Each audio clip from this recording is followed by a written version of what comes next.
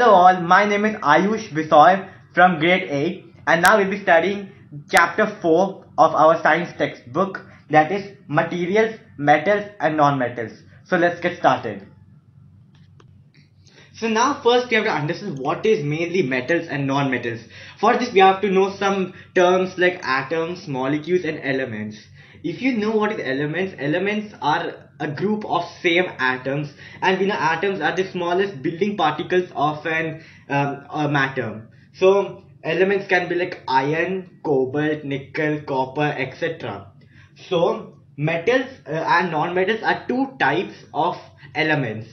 If we go forward, we will be learning that there are 118 elements out of which 94 elements are naturally occurring. So there are three types of elements, non-metals, metals and metalloids. And now we will be classifying them according to their physical properties and their chemical properties. So first we have to study their physical properties. So we will start with the physical properties of metals first. So first check is luster. What is luster? Luster is shine. We know that metals shine like iron, gold, silver etc have a shine in them. In case of metals, uh, non-metals, non-metals like non-metals are, are like graphite or like um, something like carbon etc so we know that carbon uh, potassium and all don't have any luster. They are very dull. So metals are lustrous whereas non-metals are dull. Then next. Next is hardness. So we know that metals are hard. When we we know iron or steel rods they are very hard. But non-metals like graphite you know the pencil nib those are made of graphites and those break very easily. Carbon or potassium also can potassium in room temperature can also be cut. So non-metals are very brittle also brittle in means they are hard but when you try to uh, break them they break very easily whereas metals are hard but they are easily breakable so they are brittle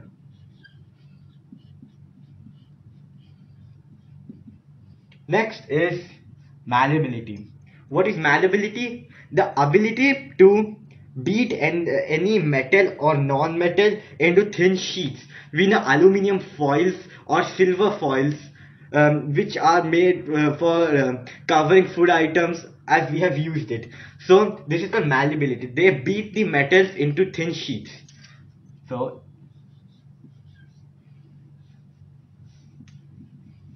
malleability ability. And non-metals, non-metals we know they are brittle. So if we try to hammer them, then they are going to break down. So they are not malleable. Not malleable. Next is ductile. What is ductile? We have seen copper uh, wires. So uh, ductile is the property in which any metal can be beaten into wires. So we know copper wires or aluminium wires also or silver wires. So metals can are ductile. And non-metals are again not ductile because they are brittle. Now next is sonorous. What is sonorous? we have seen that when we beat any type of metal so they resound and echo again. Now you we have seen bells in temples. When we ring it it echoes again and again. So that is called sonorous.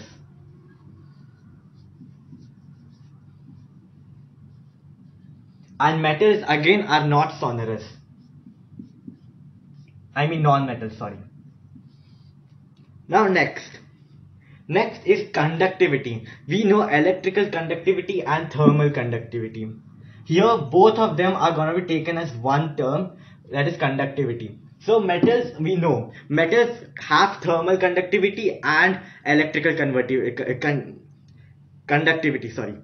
So when we have tested this many times in last year and last to last year where we have been trying to conduct electricity through switches and when we have kept metals like keys etc then the uh, electricity passes through it which means they are conductors. So metals are conductors. Whereas non-metals like rubber uh, graphite uh, uh, graphite is an exception to the non-metals. There are many exceptions which we will be learning next so except graphite every non-metal is a non it's um, not conductive and when we take thermal um, metals are also thermally conductive because we have seen when metals are kept steel steel gets uh, heated up very fast. So metals are conductive.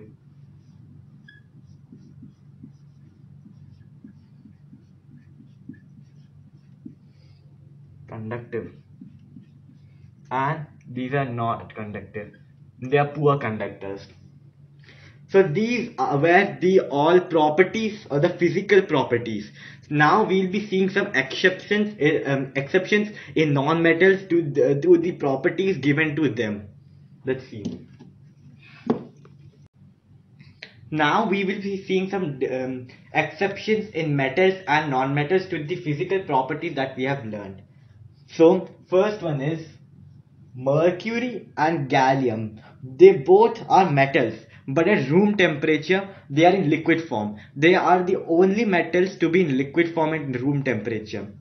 So mercury. Mercury and gallium. These are the symbols. So these both are the metals which are uh, are the only metals which are in liquid form in room temperature. Second all metals have very high melting points but mercury is the only metal which has very low melting point. So again mercury mercury has a very low melting point. third one metals are generally metals generally um, sink in water because they have very high density. But lithium sodium and potassium are the only metals which do not sink lithium sodium and potassium are the only metals which do not sink because they are the only metals which have low density. And most of the non-metals have very low density but the exception is diamond. Diamond has really very high density and is an allotrope of carbon. What is allotrope? Allotropes are the different forms of carbon in different states. Another one the fifth one is iodine. Iodine is the only non-metal which is lustrous. That is iodine is very shiny. Sixth is graphite. Graphite is the only non-metal which can conduct electricity. So when we have tried to pass electricity through the nib of um, a pencil the electricity passes so these are the exceptions now we'll be going into chemical properties now we'll be seeing the chemical properties of metals and non-metals. First one is reaction with oxygen. So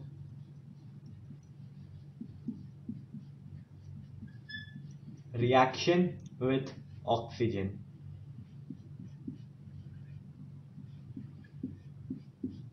So what do you mean by reaction with oxygen? Any metal or non-metal which reacts with oxygen or forms oxides are, is known as to be reacted with oxygen. So first we have to check uh, with metals. um, take magnesium. In last year we learned that when magnesium ribbon is burnt in air, so it becomes, um, it reacts with oxygen and forms MgO. So that is magnesium oxide and now if we mix magnesium oxide with water that is H2O then we get um, MgOH2 that is magnesium hydroxide and that is a basic. As we have tested it with lit, um, with litmus paper. So it can be magnesium. So it is gonna be Mg magnesium Mg plus O will become MgO.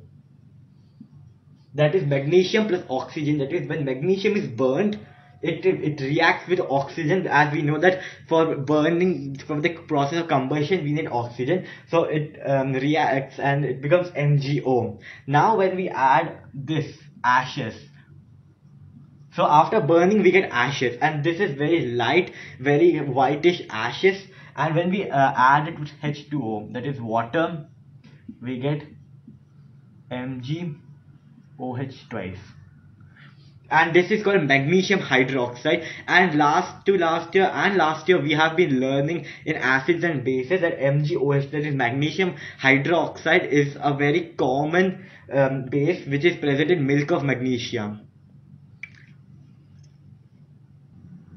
So we can say that oxides of metals that is oxides formed from metals are basic. Another example is iron. We know rust. So even iron rusts and all type of metals also rust like copper also. So iron it will be I, um, iron rust in the process in the presence of oxygen and moisture.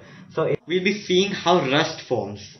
So it will be Fe that is iron plus O2 that is oxygen plus H2O and this will form rust So this is how rust forms. Now we'll be seeing how copper rust forms. So when we see copper vessels, uh, uh, like vessels or utensils made of copper, when they're exposed to moist air, that is to oxygen and moisture, that is H2O, then they get a green material coating. This green material is a mixture of copper hydroxide and copper carbonate. That is copper hydroxide is Cu OH twice and copper carbonate is CuCO3 so this the addition of these both gives to a green coating like how we have seen that rust of iron gives a brownish red um, reddish brown coating. Like this the mixture of these both give rise to a coating of um, like greenish color. So how does this happen? We will see here. Copper plus H2O that is moist air plus CO2 plus O2. So that means copper plus water plus carbon dioxide plus oxygen will give rise to copper hydroxide plus copper carbonate and this is the greenish coating or the rust of copper. So now we have successfully seen that here COH2 is there. So that means this is a base because OH is also there. And even in magnesium we have seen this. So that we can say that all metals when react with uh, uh with oxygen give rise to basic um, give to basic oxides. So metals metals have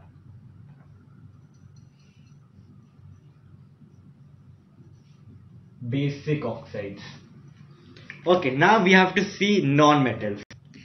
Okay now we have to check with non-metals. Sulfur is a very common non-metal. And there's an activity related to it that is activity 4.4 so in that it is said that when sulfur powder is burned then it uh, is burnt that, uh, just like how magnesium reacts with oxygen in the process of burning just uh, same like that sulfur also bur burns and reacts with oxygen and forms sulfur dioxide so it will be S plus O2 equals sulfur dioxide SO2 and when and then they keep the SO2 in a tumbler. And when SO2 is added with H2O or with mixed with water it forms H2SO3 that is sulfurous acid it's not sulfuric acid. Sulfuric acid is H2SO4 sulfurous acid is H2SO3 so this is also an acid. So now we have seen that acid acidic nature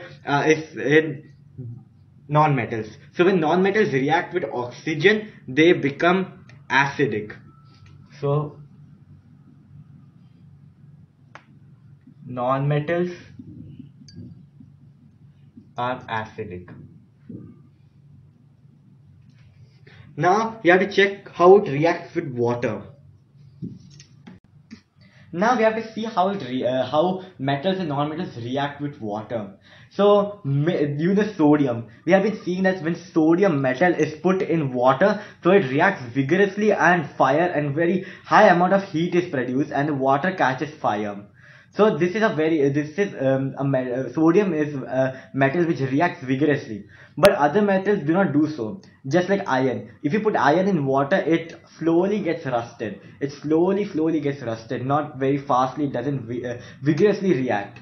And met, uh, um, non-metals, some non-metals react, but they also do very slowly. And but most of the non-metals are very react vigorously in air. So one of them is phosphorus Phosphorus is a non-metal and when it, and when it, uh, it's exposed to air, it also reacts very vigorously and a high uh, amount of energy is produced. So sodium uh, uh, vigorously reacts with water, thus it is kept in kerosene. It's stored in kerosene and phosphorus is kept in water so that it, because it doesn't react vigorously with water. Now we have to see reaction with acids. Now for checking how it how metals and non-metals react with acids, we have to take some examples. Now take magnesium. If we put magnesium or iron or any type of metal is given in activity 4.6, it can be checked in a laboratory in a chemistry lab. So when these are put in acids, they react and a pop sound comes. How is what is the why is there a pop noise? So let's see. So when metals are put in acids, they react and the pop sound comes because hydrogen is produced. And when hydrogen gas tries to come out the pop sound comes. So metals react with acids and produce hydrogen gas. And that is why a pop sound comes. And non-metals non-metals generally do not react with acids. And they stay as it is. There are some metals which only um, which only react with a particular type of acid. Now for example, copper. Copper does not react with dilute hydrochloric acid, but it uh, on heating it reacts with sulfuric acid. Now we have to see bases.